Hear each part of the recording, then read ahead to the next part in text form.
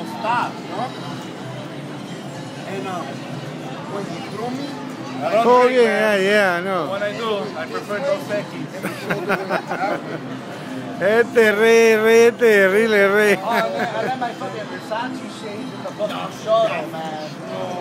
I go to 120 dollars. Hey, yeah, I fucked up. I should have brought the cheapest shades, but I got the best one. So when my, when my head went like this, my shoulder went down. So the muscle that you, it the shit. Hello. Pops it forward. Beautiful, huh? So what they did, they went in there and they, re- they reconstructed my shoulder. No. Now, if I was getting a fight with somebody, I would just go go with the right and always just cover, you know, my leg.